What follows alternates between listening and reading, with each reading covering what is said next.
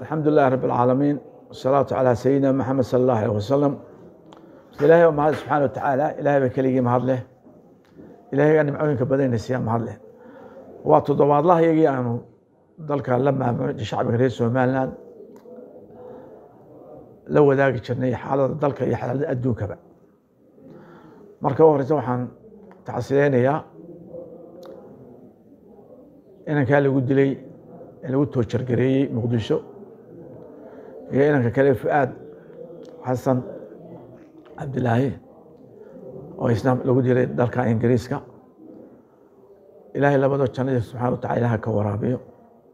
Ka gardaran baa labadooba dilay ilaahay subxana wa tacaala dadkeena samari iman waalidkooda inaga inaga siiyo inta waa xiga waxaan dana hambalyanayaa ciidamadeena qalabka sida iyo kuwa ammaankaba waan socodsanaya noolaadaan leeyahay waan ogahay xaalada ku nooshihiin xaalad adag xagga dhaqaalaha laakiin insha allahu tacaala waxay iman doonto wakti loo soo kala dheereen doono ciidanka xooga dalka somalilan loo soo kala dheeran doono insha allahu tacaala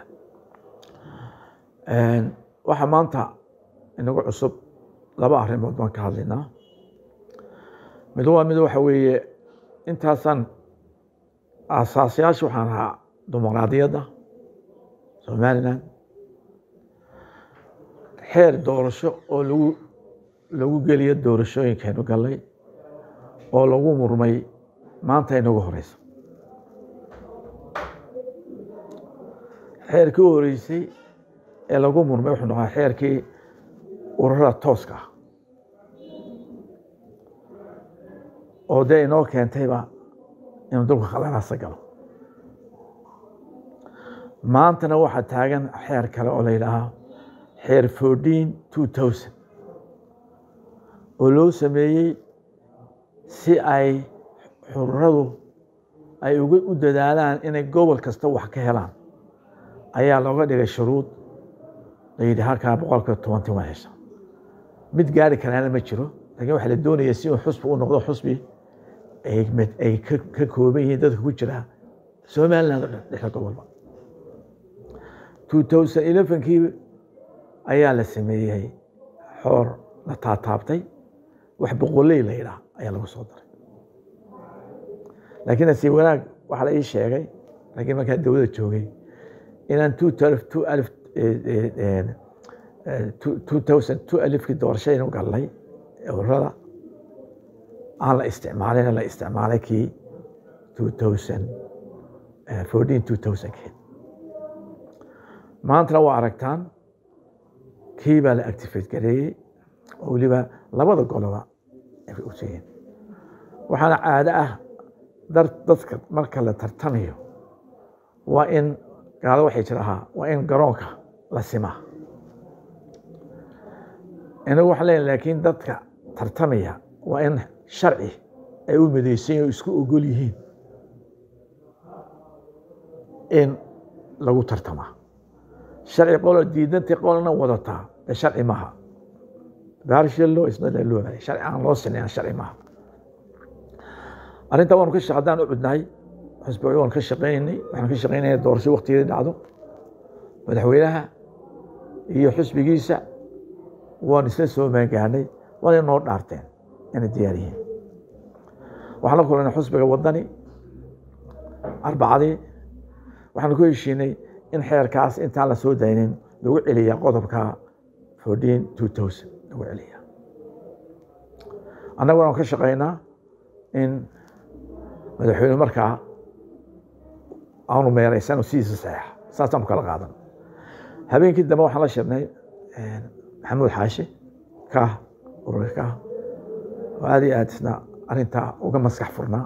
Aad iyo aad baan u hambalyanaya waxaan ku heshiinay markaa in qodobkaasi si doorasho inagu dhacdo aan meesha ka qaadnayo kaa la isla ogol yahay aan samayna. Kiimay dhicin koo dadaalkii ku jira ayaa la dedejiyey. Labadii golobo duuduub bay ku domeeyeen horta waxaan sheegay reer awdal arrintani arrin inoo idinka inoo gaara maaha.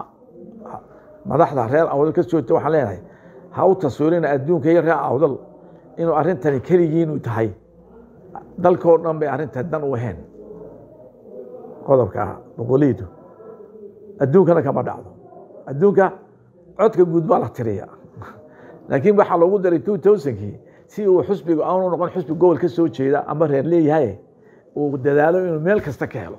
Laakiin hadda waxaa muuqataa in dad ka danaysanayaan dee dad wax danaysanaya maaha marka qodobka waxaan jecelahay inaan insha allahu tacaala aanu concert ka gaadhno aan ka shaqaynayna insha allahu tacaala saamiyinka dhan inaan la shirnaan doona insha allahu tacaala markaa dadka reer somaliland waxaa leeyihiin way inoo afyaraatay tafaaruqeyni ballaadhna uu soo koobay halkaasuu taagan yahay isdejiya khayr bay noqonaysaa insha allahu tacala waanu ka shaqaynaynaa kulmiyo dowlad madaxweyne qalbi saliim bay la taagan yihiin maxamuud xaashi qalbi fiican baanu kala kulanay saamiyinkana waana kulmi doonaa insha allahu tacaala arrintaa waa dhammayn doonaa insha allah taasaan leeyahay waxa intaa inoo raacaa doona ka hadalno. Horta waa aragtaan xasan sheekh. Behaviorkiisa dhaqankiisa waa aragtaan. Inaan nin aan yani madaxweyne sharafteedii labiskiisii gaadhkiisii fiirashadiisa waad arkaysaa.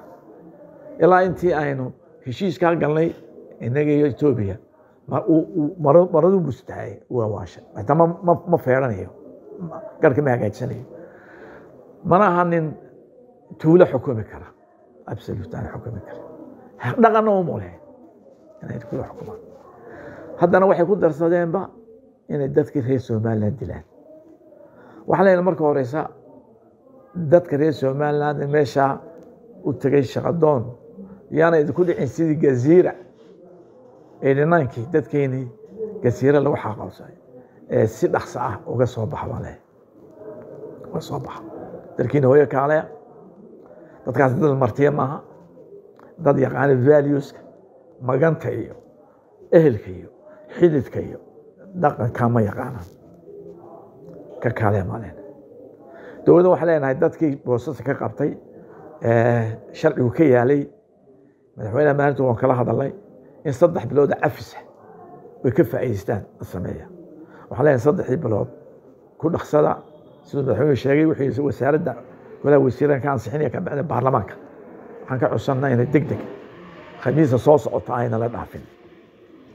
Waxaa leeyahay somalilandow dadkaa marka hore cagabadnaanteena ayayna gaarsiin dad ayna isku derisna xitaa nahay. Maaha. Derisna xitaa ma nahay. Magaca soomaalida ba isku keen keenay magaciisa way baabiyeen way xumeeyeenoo. Magacaasoo dahab buu ahaa adduunka sacuudiga arabiya meel kastaba. Qab nin qab weyn ninka soomaaliland. Soomaaliya innaga ahayd tusaalihii soomaalida maanta uu qurmay. Turkiya tigaysa uu qurmay sacuudiya tigaysa uu qurmay. War soomaaliya dhaqanigtan maahay bay leeyihiin marka waxaan leenahay dadkaas ilaahay iyagana siiyo meesha ilahay nabada ku siiyo. Inagoo iska soo noqda dalkeyna haysanaynaa. dalka somaliland first baan leenahay somaliland tigdam danta reer somaliland maanta eegina waxba inaga imika soomaali. Sida carabtu ay dowladda kale yihiin. Shan dowladood hadday qor somaliland ilaahay ha siiyo soomaalida lakiin teenaan wax kasta ka horeysiinayna waxaan leenahay isdejiya dadkeena iskaga kaalaya.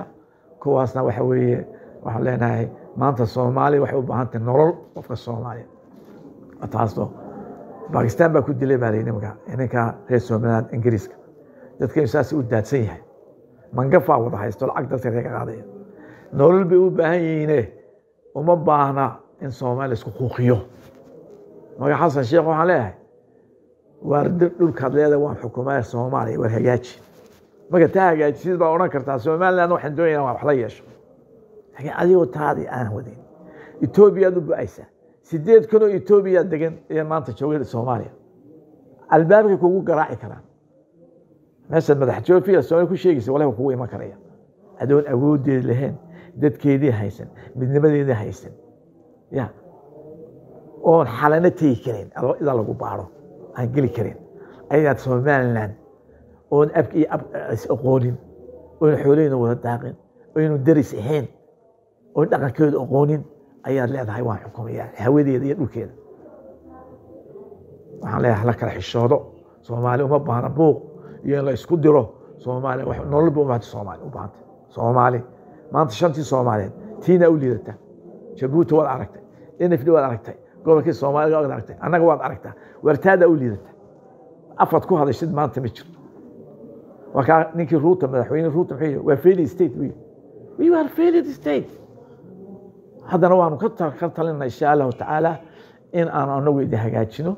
Bottom up approach idiin sameyno halkan shir idinku qabano aanu idin dhisnaan doonina. Oo mushkiladiinu ay noqoto mushkilad soomaaliyeed gacanta ku haysee aanu ajnabi gacanta ku hayn. Taasaanu ka shaqeynana markaan isku soo ducayno isku soo ducayno aynu wanaageena iyo ka shaqeyna qabsigeena xumaanta iyo cadaawadda ha laga joojiyo dhexdeeda. Wasalaamu calaykum raxmat ullahi wabarakaatu